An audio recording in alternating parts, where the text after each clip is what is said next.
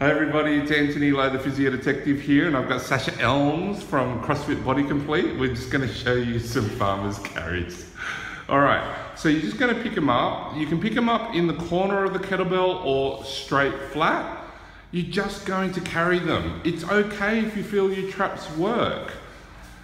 It's okay if you feel like your shoulders are in your ears. What I don't want is for you to feel like that you're doing something wrong. The only time you should worry about farmer's walks is if it hurts, your grip's probably going to give out.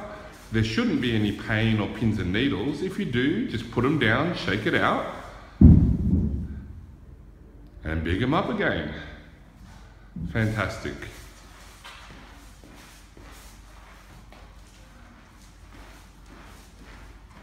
And there the farmer's walks. Thank you very much. Yeah.